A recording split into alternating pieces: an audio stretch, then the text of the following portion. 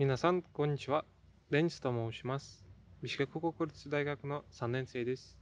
今日は私の宝のものについてお話したいと思います。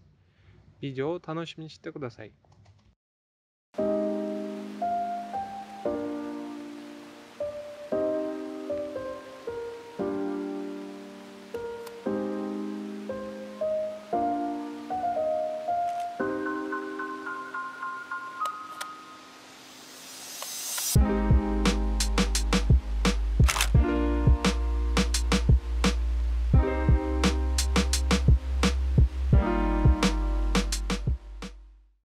私の宝物は空です。私の空への愛は子供の頃始まりました。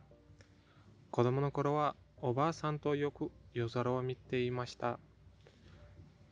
星空を見ながらおばあさんは空のお話をしていました。夜空を見ているとき、流れ空を見られたら自分の願うことを言い出したらそれは絶対に叶うと言っていました。その時から空への私の考え方が変わってきた。空は私にとって自分だけではなく他の人の夢を叶ったり秘密を守る宝物になってきました。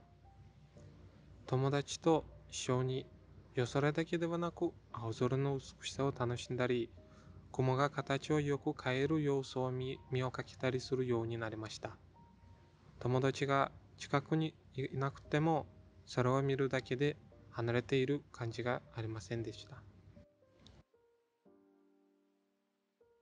私の国、キルギスは山国になっていますから、空はもっと近くにあるような感じがします。景色の美しさと一緒に空の美しさの珍しいさを表すの言葉が足りないと思います。なぜかというと、空が世界全体に広がっていて、世界中に誰でも空を身をかけることが一番いいと思います。空は国のように呼吸とか民族のように文化と瞬間などを待ちではありません。毎回顔を上げて空を見ているときにいいアイデアなどが頭に浮かびます。今日私の話を聞いている人の間に空は普通の自然なもので毎日誰でも見られるという意見が出てくるかもしれません。しかし、この発表で当じて私が伝えたいものが一つあります。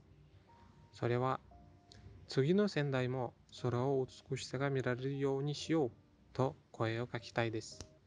ご清聴ありがとうございました。